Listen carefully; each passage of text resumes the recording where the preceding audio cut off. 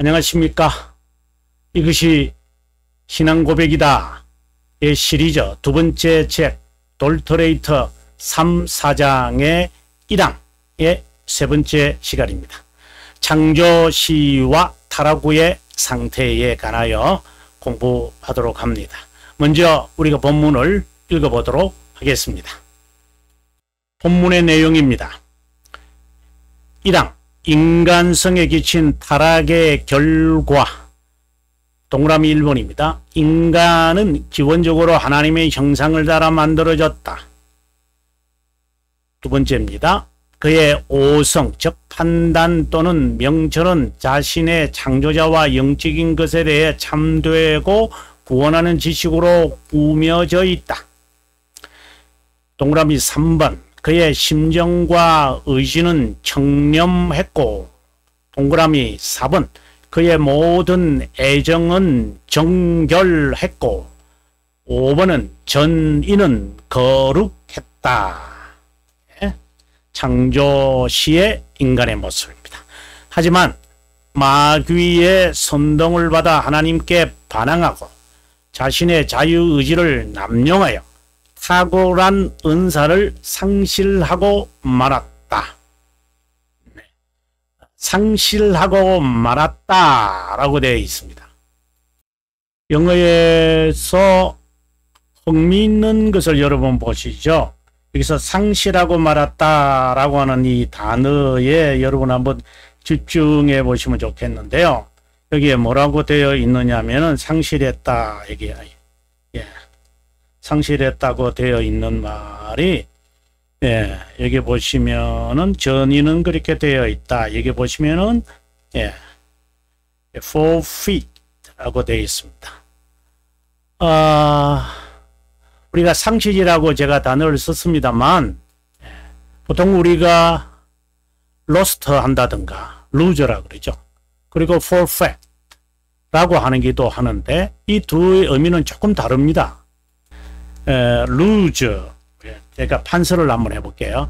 우리가 아, 타락의 상태의 두 번째를 우리가 살피기 때문에 우리가 판서를 한번 해보겠습니다. 보통 lose라고 하는 말과 forfeit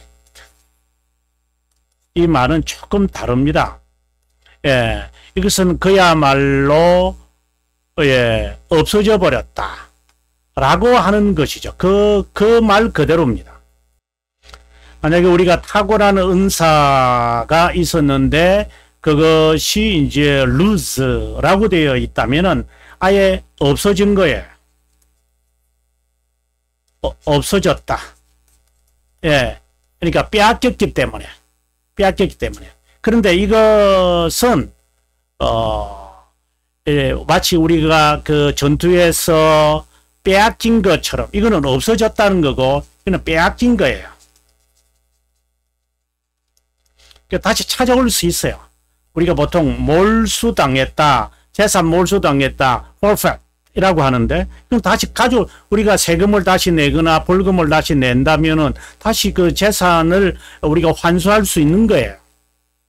예, 다시 가져올 수 있다는 거예요. 자, 그래서 여기서 우리가 중요 깊게 중요 중요 깊게가 중요하게 봐야 되는 것은 he forfeit these excellent gift 라고 하는 말은 탁월한 은사가 에, 몰수당했다.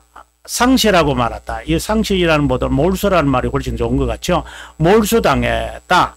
몰수당하고 말았다. 그리고 예 어, 본래 자신에게 있는 것과는 정반대로 정반대로 눈먼 마음과 예, 여기서 마음이라는 것은 어제 말씀을 어, 어제가 아니고 지난 시간에 여러분에게 말씀을 드린 것처럼 이거는 지성을 말하는 거거든요. 지성에 여기서 말하는 이 지성, knowledge, 이게 지성은 눈물게 되어지고 그 다음에 소름 끼치는 어둠과 그리고 헛되고 왜곡된 판단을 수반하게 되어져. 오성. 예. 판단이 흐릿하게 되어지죠. 네, 오성 자체가요. 그 다음에 심정과 의지는 여기서 판단은 있는데 굉장히 참된 것으로 장식되어 있었고 그 다음에 심정은 무엇이었는가 청렴했는데 이제는 사악하고 말았다. 애정은 불결하고 말았다. 자 이렇게 우리 타락의 결과를 설명하고 있습니다. 다시 한번 제가 판서하면서 여러분에게 한번 설명하도록 하겠습니다. 정말 끔찍합니다. 여러분 하나님의 형상이 어떻게 지어졌습니까? for fort다 이렇게 되어 있습니다. 몰수당했다. 빼앗겼다. 예, 이게 훨씬 낫겠죠? 아, 상실했다라기보다 그럼 어 어, 뭐, 어, 저기, 다시 찾아올 수 있다라고 하는 거죠. 예, 없어져 버린 게 아니에요. 자, 그런, 이러한 탁월한 은사들은 영의 은사들이다. 영의 은사다. 또 다른 말로는 영의 기능이다. 이렇게 이야기를 해요. 그래서 이러한 그 타락의 상태에 이르기 위해서는 지난 시간에 제가 말씀을 드리기를 사탄의 예, 선동이 있었다. 두 번째는 인간의 자발성이 있었다. 다른 말로는 제 멋대로 또는 자의로 또는 자발로 이러한 불순종이 있었다. 그 다음에 세 번째가 부패성을 낳았다. 자, 이렇게 되겠죠. 자, 그러면 다시 우리가 본문을 한번 읽어보겠습니다. 아주 중요한 내용들이 지금 우리가 인간에 대한 지식을 가지려면은 창조 시의 인간과 창조 후의 인간의 상태를 잘 봐야만 한다라고 했는데 다시 한번 읽고 들어가 보도록 하겠습니다. 마귀의 선동을 받아 하나님께 반항하고 자신의 자유의지를 남용하여 탁월한 은사를 빼앗기고 말았다. 몰수당했다. 예. 탁월한 은사와는 정반대로 예. 본인에게 있는 이 있는 와는 정반대로 마음은 어떻게 되어졌습니까? 눈먼 마음과 소름 끼치는 어두움, 헛 되고 왜곡된 판단을 수반하게 되어 심정과 의지는 사악하고 모반과 왜고집이 자리 잡았고 그의 애정은 불결하고 말았다라고 되어 있습니다. 제가 지난 시간에 숙제로 남겨둔 것이 무엇이냐면은 아담이 개인적 자격 아닙니까? 개인적으로 범한 것이 왜 모든 인간에게 이게 다 책임이 돌려가야 됩니까?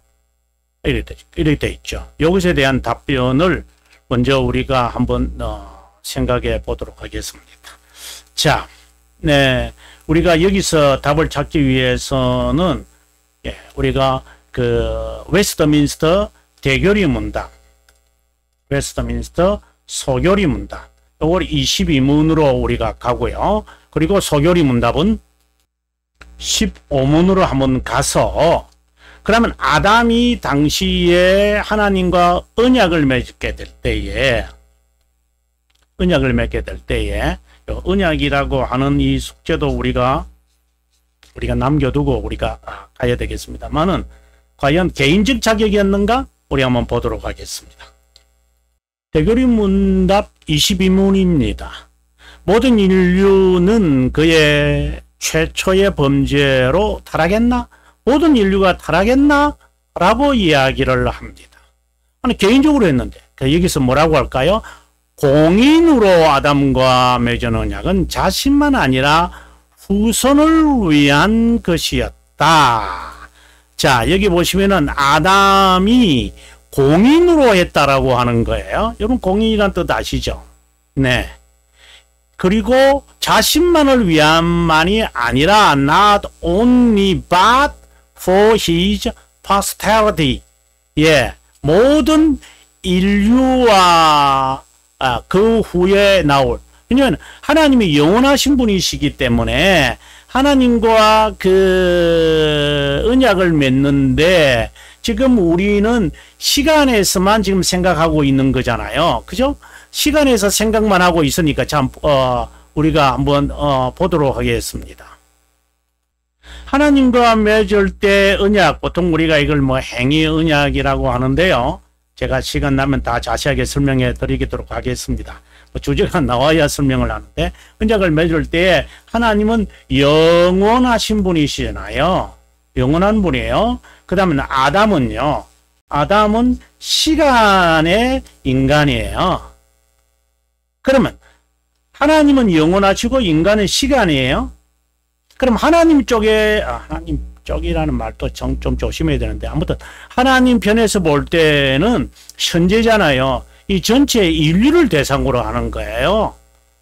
지금 어, 태어난 사람은 만들어진 사람은 아담이지만 앞으로 모든 인류를 대상으로 지금 하고 있는 거예요. 아담은 또한 공인으로서 그것을 하게 되어지는 거고요. 그렇죠? 영원하신 하나님의 측면에서 보면 예, 아담과 일대일 아니죠. 우리가 볼 때는 아담 너가 그 전에 뭐 최초의 인간으로서 하나님과 일대일 했죠. 이렇게 말하는 것은 그 아르미니우스파가 원죄를 부인하는 그러한 태도를 갖고 있는 이단성을 어, 이제 표현하는 부분들이죠. 그렇지 않죠. 자, 그 다음에 우리가 그 소교리 문답을 또 한번 보도록 하겠습니다. 예, 소교리 문답 16문이네요. 네. 보면 모든 인류는 아담이 범한 최초의 죄로 타락했나 같은 질문입니다. 아담과 맺은 언약은 자신만 아니라 여기 아주 자세하게 나왔네. 여기는 더요.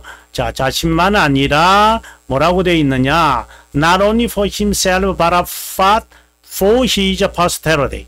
예, 그의 후손과 그래서 all mankind는 죄를 그 안에서 죄를 범하고 이제 그부 그와 함께 에, 타락을 했다라고 되어 있습니다.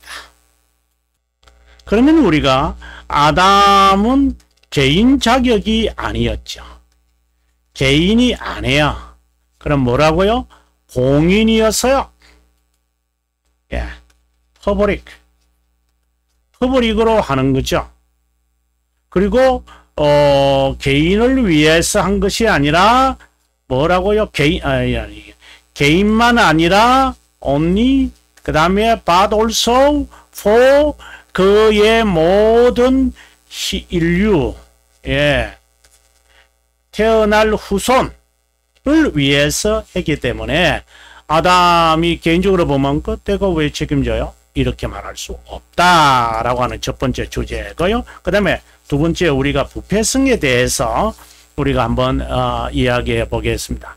지금 계속적으로 그 우리의 본문의 내용은 예, 그 영의 기능의 그 부패성에 대해서 자세하게 말하고 있는데요. 우리가 한번 보도록 하겠습니다. 자, 본문을 우리가 한번 읽고 다시 돌아오도록 하겠습니다. 자, 본문을 봅니다. 탁월한 은사는 7이 이제 여기에 타, 그러니까 그거, 이거는 타락의 과정을 설명을 했고, 이것은 그 결과를 이제 말하고 있는 거죠. 자, 봅니다. 정반대로 그는 눈먼 마음과 소름 끼치는 어두움, 헛되고 왜곡된 판단을 수반하게 되어 심정과 의지는 사악하고 모방과 왜고집이 자리 잡, 잡았고 그의 애정은 불결하고 많았다. 불결하고 많았다. 라고 되어 있습니다. 아, 정말 고마귀의 그 선동이 얼마나 속았다는 것도 마음이 너무, 네, 예, 예, 너무 싫습니다. 그런데 이 당시에 아부, 어, 아담만이 아니라 지금 나도, 우리도 이렇게 당하고 있으니 중생된 자가 맞는지 다시 한번 어, 자신을 돌아보게 됩니다.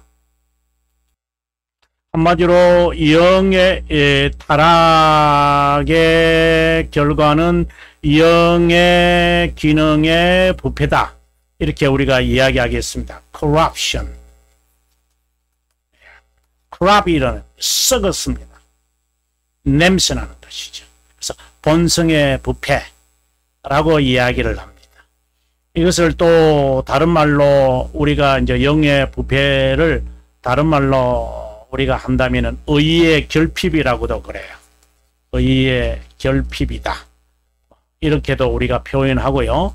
또는 본성의 부패다. 이렇게 이야기하는데 이 대교리 문답의 23문과 소교리 문답의 17문에서 이제 우리가 볼 수 있고 그 다음에 25문과 소교리 문답 18문으로 가보면 이 우리가 본성의 이 부패를 의의 결핍이라고 이야기가 되어 있어요.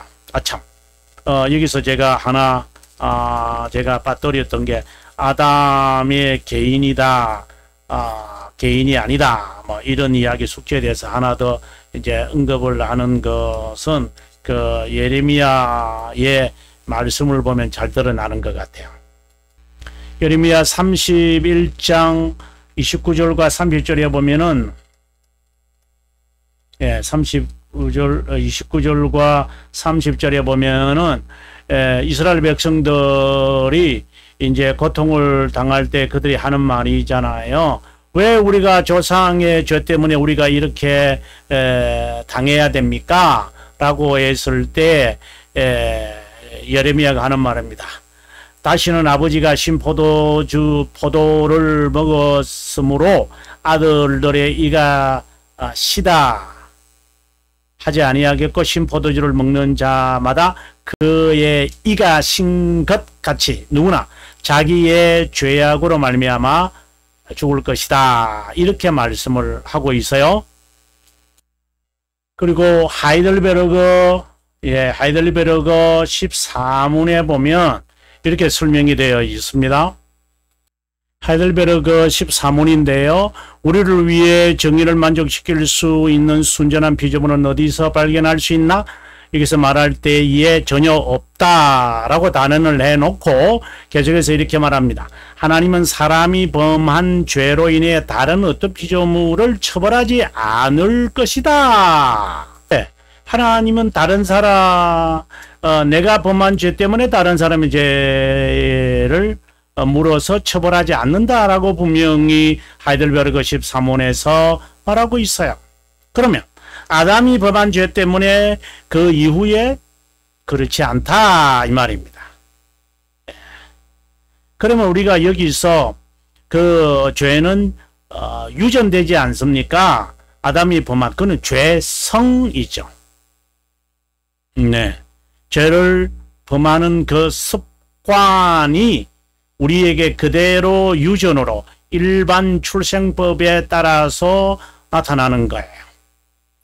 그래서 지금 부패가 되어졌고 의의 결핍이 되어 있는 이 부분은 예, 유전으로 우리들에게 그대로 전달될 겁니다. 그 보통 우리가 원죄의 유전이다 이렇게 이야기를 하죠. 자, 그 다음에 계속해서 부패 영의 기능이 부패했다라는 것은 타락 전 창조 시에는 하나님과의 교제가 이루어졌다. 그런데 이제는 그 교제가 단절되어졌고 그것이 몰수당한 거예요. 이제 그것을 중생으로 되찾아와야만 되는데 그러면 중생하기 전에 타락 후의 상태에서는 부패되어진 거잖아, 어, 부패되어진 거잖아요. 이것은 이제 두 가지로 나타나는데 하나는 극단적 예 이기심으로 드러나고요. 또 하나는 영적 선을 영적 선입니다. 영적 선을 절대로 바라지 않아요. spiritual spiritual good 왜냐하면 어, 이거는 어, 자기만을 향해 돼있어요. 하나님을 향할 수도 없고 향하지도 않고 싫어하고 할 수도 없고 이 왜냐하면 영적 선이라고 하는 것이 바로 구원을 의미하기 때문에 우리가 한번 보도록 하겠습니다. 돌터레이터 3, 4장 3. 예, 돌터레이터 3, 예, 4장 3항을 우리가 한번 보도록 하겠습니다. 예, 돌토레이터 3, 4장의 예, 사망입니다. 전적 무능력, 예, 타라구의 모습을 말하죠. 그러므로 모든 인간은 죄 가운데 잉태되어 진노의 자녀로서 구원하는 선을 구할 힘도 없고 여기서 말하는 구원하는 선 바로 영적 선을 의미하는 겁니다. 그래서 구원하는 선은 바로 영적 선을 말합니다. 악에 지우시는 성향을 가지고 있고 죄와 그것의 속박으로부터 죽어 있다. 중생시키는 성령 하나님의 은혜 없이 예, 중생 없이는 본성의 타락을 개혁하거나 개정하려고도 하지 않는다. 자발적으로 돌아가려고도 하지 않을 것이다. 라고 이야기하고 있습니다. 예, 바로 영적 선을 구할 힘도 없고 구하려고 하지도 않습니다. 이 부패한 그 부패성을 가진 인간의 모습입니다. 선한 것을 싫어하죠. 선한 것을 싫어하고 악만을 악행 그래 악의를 가지고 있는 거예요. 이게 이제 에, 부패성의 두 번째 이제 뜻이에요. 물론 이제 이러한 것이 잘 드러나는 거 우리가 쉽게 이해를 하려면은 이제 게으름이에요. 게으름과 성급한 확신. 이 두 가지가 이제 에, 극단적인 이기심과 영적 선을 구하지 않으려는 부패성이 잘 지니고 있는 것이 우리 삶에 드러나는 모습이에요. 우리가 한번 보도록 할까요? 예, 연구자 용 2권, 예, 2장 1항에서 이제 인간의 타락성에 대한 이제 어, 원죄에 대한 이야기를 하는데요. 여기서 이렇게 말하고 있습니다. 예, 에, 우리를 어, 여기에 볼까요? 우리를 사로잡고 있는 위협들을 생각하는 것입니다. 모든 고결성을 다 빼앗긴 인간은 적극적으로 게으름을 즐기고 의를 연구할 능력이 없기에 오히려 무관한 것처럼 모든 주제를 취급합니다. 두 번째, 달리 말하면 인간은 타락의 자신을 종속시키는 성급한 확신을 가진 채로 하나님으로부터 그분의 영예를 강탈하지 않고는 어떤 것이라도 자신의 것이라 사칭할 수 없습니다. 이 두 바위를 제거하셔야 합니다. 네. 그러면 여러분 어, 떠오르습니까? 그러면 2장 2장 2항 1항에서 지금 설명하고 있는 겁니다. 예. 그래서 어, 인간의 부패성이 잘 드러나는 게 이제 극단적인 이기심과 영적 선을 바라지 않는 것입니다. 예, 이것이 우리가 실제로 느낄 수 있는 것은 게으름과 성급한 확신에 대한 것입니다. 이제 몰수당한 영의 기능이 부패해져서 의의 결핍이 되어져서 나타나는 현상은 이제 이렇게 에, 나타나는 것이죠. 에, 하나님에 대하여 알려고 하지도 않고 하나님에 대하여 연구하려고 하지도 않을 것입니다. 부패성에 관한 이야기를 지금까지는 했습니다. 그래서 영의 기능이 부패했다. 아담의 개인의 자격이 아니다. 어, 그리고 그 기능 하나하나를 이제 우리의 본문의 내용에서는 밝히고 있습니다. 보시면, 네. 이 마귀의 선동, 자유의지 남용, 이제 충분히 아마 여러분 여기서, 어, 답이 되어졌다고 보고요. 그 다음에는 눈먼 마음과 이제 판단력이 이제 흐려진 거죠. 눈멀어 있죠. 판단력이 사라진 것입니다. 예, 그리고 지성을 알고 싶은 것만 알려고 하는 겁니다. 영적 선에 대하여 이제 알려고 하지 않습니다. 그리고 판단력도요, 극단적 이기주의에 빠지고 있습니다. 그럼 심정과 의지는요? 하나님에 대하여 모반하고 이 어, 강한 자가 살아남아야 하는 재간을 부리기 시작할 겁니다. 애정은요. 불결하고 불결하게 되고 말죠. 이 점에 관해서 칼빈 선생이 가장 설명을 잘하고 있는데요. 여기에 176페이지에 있는 내용을 제가 2권 2장에 대한 서론을 이렇게 설명을 하는데 한번 읽어보면서 우리가 정리해 보면 좋겠습니다. 지금 어, 타락의 결과가 우리의 에, 마음도 오성도 심정도 의지도 애정도 다 지금 예, 부패된 상황인데 칼빈성은 어떻게 설명을 하고 있는가 봅니다. 최초의 인간이며 인류의 대표자인 아담의 범죄로 인해 타락한 인간은 선천적 부패성을 지니게 됐다. 여기서 선천적 부패라는 것은 태어나면서부터니까 일반 출생법이다. 이렇게 우리가 보는 봅니다. 어쩔 수 없이 죄들만 행하는 인간이 된 것을 안타깝게 여길 수밖에 없는데 이것을 아우구스티누스를 비롯한 정통신학자들은 노의 의지라고 한다.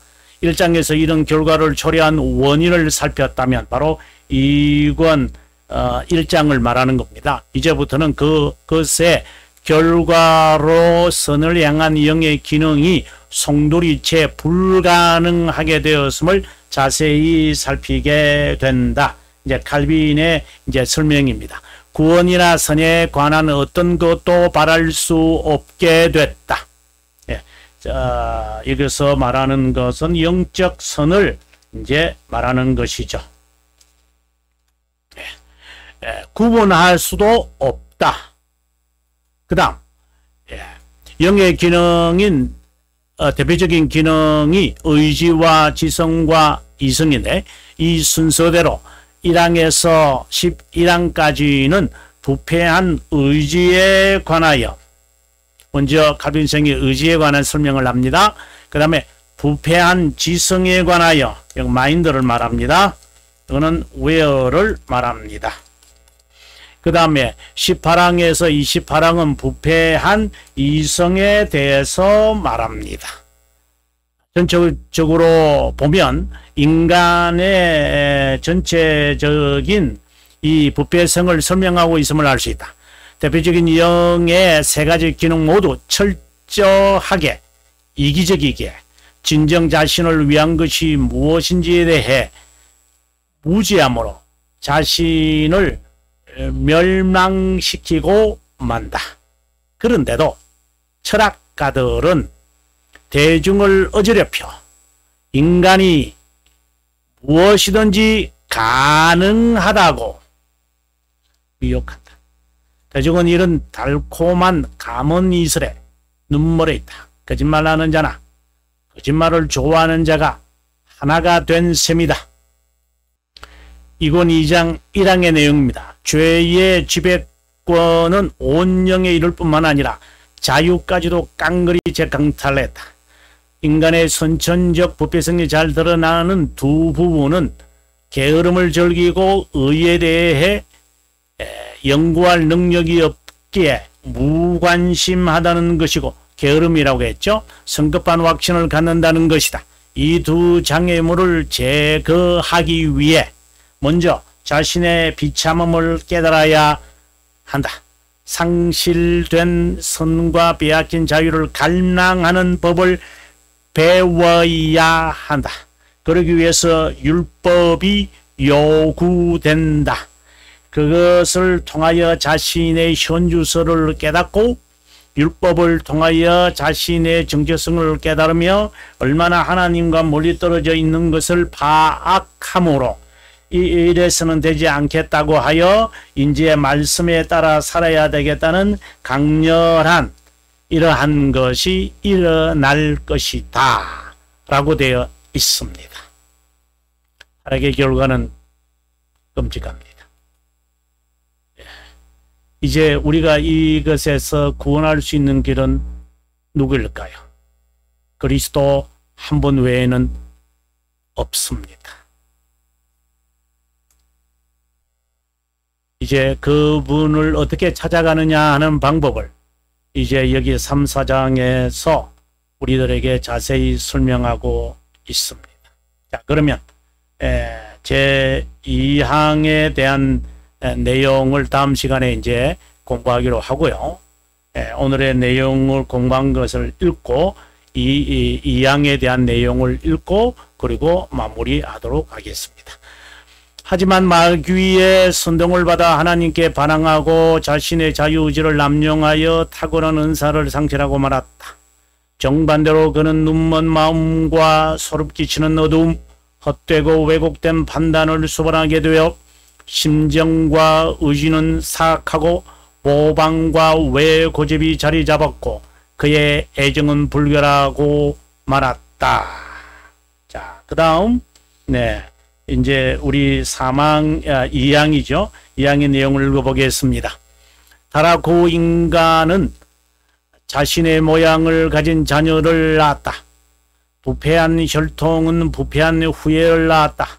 그래서 그리스도만을 제외한 아담의 모든 후손은 기원적 풍모로부터 부패를 이어받았지만 펠라기우스파가 오래전에 주장했듯이 모방이 아니라 사악성의 번식으로 갖게 된 것이다.